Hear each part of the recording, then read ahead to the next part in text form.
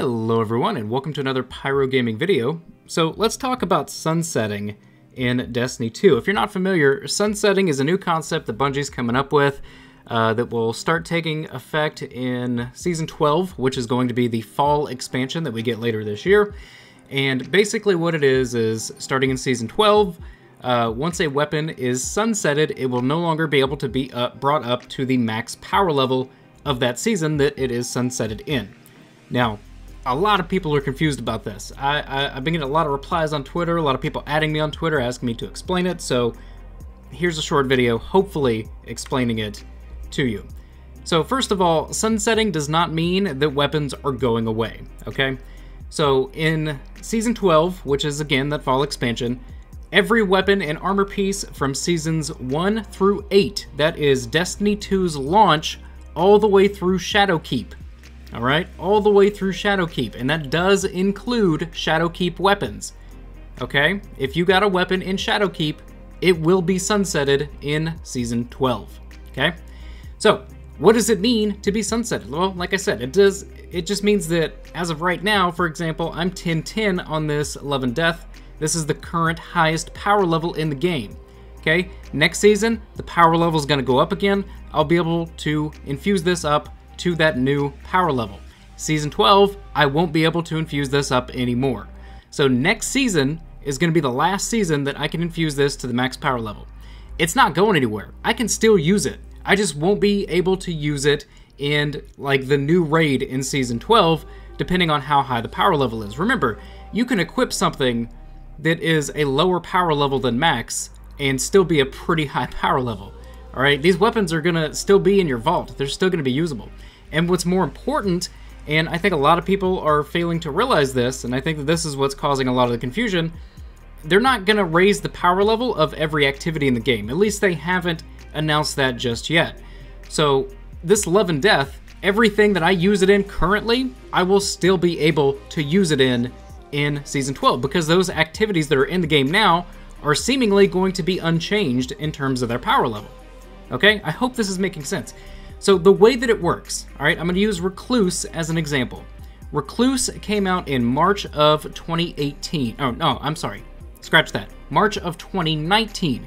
Okay, Season of the Drifter is when Recluse came out. I believe that that was season... Let's see. Shadowkeep would have been 8. Seven, season 6. I'm, I'm really bad with numbers. Recluse came out in Season 6. Season of the Drifter. Okay? So Recluse, if sunsetting was in the game now, would have been usable and infusible up to the max power level for the following three seasons after Season of the Drifter. So it came out in Season 6. In Season 7, which was Season of the Opulence, it would have been infusible. In Season 8, which was Shadowkeep, it would have been infusible. And in Season 9, which was Season of the Dawn, it would have been infusible. So in Season 10, which is the current season, this weapon would have been sunsetted and it would be setting at 970 right now as opposed to 1010 because 970 was the highest power level that you can infuse stuff up to last season and that was Recluse's last season to be infused up to the higher power level. So again, I can still use it. I can use it right now even if it was 970. It wouldn't be that big of a deal. It wouldn't drop my power level all that much. But it just wouldn't be 1010. I hope that makes sense to you guys. Okay? So, that being said, let's talk about the things that will be dropped from max power infusion in season 12. Literally everything from Shadowkeep and before. So that includes Season of Opulence, that includes Shadowkeep, Season of the Drifter, Forsaken, uh, Black Armory. That also includes. That's it. no, that also incu- includes all the all the year one stuff too. Okay, so when season 12 starts, the weapons that you will be able to use are weapons and armor from Season of the Dawn, Season of the Worthy, and Season of whatever the hell is coming next season. I don't know what next season's name is. Okay, so that's how weapons are going to work. So, for example, this Seventh Seraph. Okay, this came out in Season 10 so I will be able to infuse this up until season 13. So that's the season after the Big Fall expansion. So Uh, I will be able to infuse this up to max power all the way through December of next year. And in March of next year, whenever that new season starts, for the March of next year season, that will be the last one that I can infuse this all the way up. Okay, so it's three before, three after, is basically what you're looking at. Now, for armor, for armor, they are also sunsetting armor. It is going to work the exact same way. I'm personally not too torn up about the armor. Alright, because you're going to have to get new armor sets anyway in Season 12 to have the new mods, even if you kept the current mod system.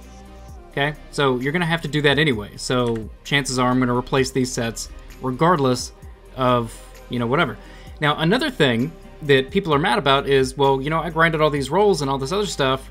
You know, why why are you going to take it from me? Okay, if they keep going like they have been, the season pass is giving you some of the best armor in the game every season in terms of stat rolls. So that shouldn't be an option. If your concern is the look of the armor, if you really like this look and you don't want to lose that look, well, in Season 12, they're also going to introduce transmogrification. If you do not know what transmogrification means, it means that I can take this armor set right here, this look, and I can convert it to a universal ornament like these right here.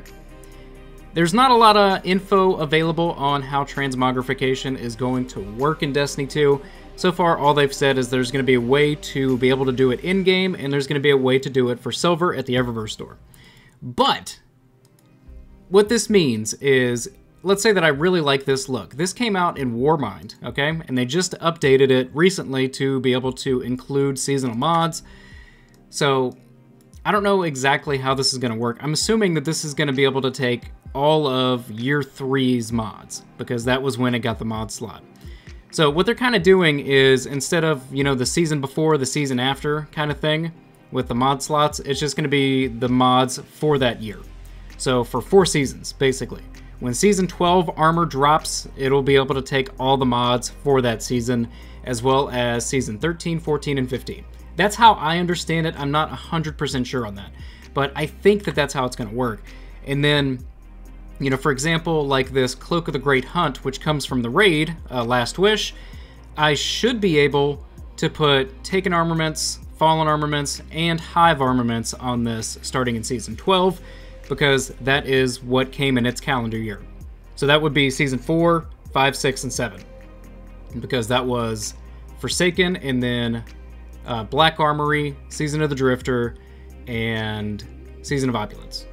I'm assuming that's how it's going to work. But yeah, being able to break down any armor piece and turning in turn it into an ornament, honestly, it's going to open up so many different possibilities for so many people because I really like, like for example, like this, this armor that I'm wearing. I really like the way that it looks, but the stat rolls on this are pure garbage. If I can use this look on this Righteous set, holy crap, man, I would love that because this Righteous set has insane stats. Quickly, I want to jump back to something for the weapons because I, I forgot to mention it. So, they did say that weapons and armor from Last Wish and Garden of Salvation specifically will not follow the exact same time frame rules as other weapons and armor in the game. They didn't go into details, but the fact that Last Wish is a Season 8 raid, no, Last Wish is a Season 4 raid. This came out in Season 4 the fact that they mentioned Last Wish leads me to believe that it's going to be a pretty long lifespan for those two raids gear. Because why would you mention it if it wasn't going to be sunsetted in season 12? That is an eight season gap, not a three season gap. You know what I'm saying? So it's got to be a pretty significant lifespan for the raid stuff. Specifically, Last Wish and Garden of Salvation, and presumably the newest raid coming out this September. So just wanted to point that out. But uh, yeah, that's that's pretty much the gist of it, man. Um, your stuff's not going anywhere. Your stuff will still be usable. Uh, one other thing that I would like to throw out there is assuming you're still going to be able to use your artifact like we do now, how you get the power bonus. I mean, you're going to be able to equip some stuff that lowers your power level quite a bit and still be up there if you have enough on your artifact. So it's not the end of the world, man. Uh, it's it's really not. Me personally, I am in favor of sunsetting weapons and armor. Um, armor, I don't really have an opinion about, honestly. I don't I don't care that they're sunsetting armor, it's whatever. As long as I can convert these to ornaments, I'm happy. I can put it on whatever gear set, whatever stats I want, that's fine. I'm happy with that. But for weapons, dude, I'm so tired of Mountaintop Recluse in PvE. Just, that's all anybody wants to use. I'm so tired of it. And not only that, but if you retiring quote unquote Recluse in the end game means that you can make a new weapon that is just as good as Recluse, dude, I'm all for that. Like if we had a hand cannon as a pinnacle weapon that was on the same tier as Recluse, dude, I'm all for it. If we had an auto rifle that was on the same tier as Recluse, I'm all for it. If we had a shotgun that was on the same tier as Mountaintop, I'm all for it. But you get into power creep if you just throw all that stuff in the game. And that's something that we've already experienced in Destiny 2. We were too strong, and as a result, Heroic Menagerie was just not even fun because it was power creep in its truest form. We were too strong, and the activity had to be ridiculous in order to compensate for what we were able to do. So I'm not a fan of power creep, and if you just throw all the keep throwing all this stuff in the game like it is right now, that's what you're gonna get.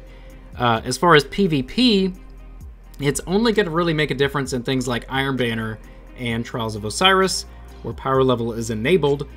But again, man, like it's not it's not that big of a difference, you know, to have something that is below power level. If you're just doing it doing it in one slot, it's not that big of a deal. And you got to keep in mind, man, we're going to get some better weapons.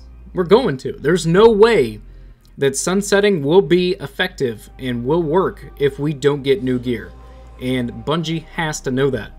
Speaking of which, I don't have it on me, but I was sitting there thinking today, the only sword, unless they introduce a new sword next season, the only sword that we're going to be able to take into Season 12 and infuse all the way up is going to be the new New Monarchy sword, because all the other ones are so old that they're going to be sunsetted, including the Shadowkeep sword. Night Terror was Season 8.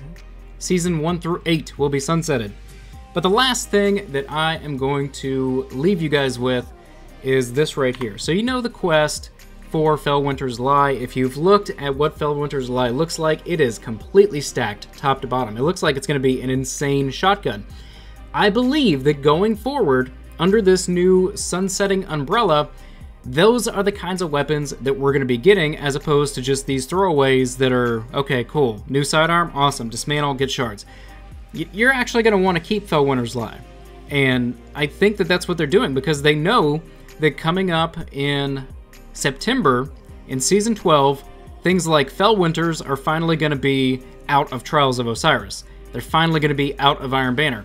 So they're putting Felwinter's Lie in and making it super strong to compensate for that removal. I'm assuming that's what I feel like, and that's what I feel like it's going to be like going forward, and that's why I am in favor of it. Drop a comment in the box below. Let me know if you have any questions. I will try my best to answer them. If you enjoyed this video, click like. If you're new to the channel, click subscribe, and if you're already subscribed, I fucking love you. Thank you guys so much for watching, and take care.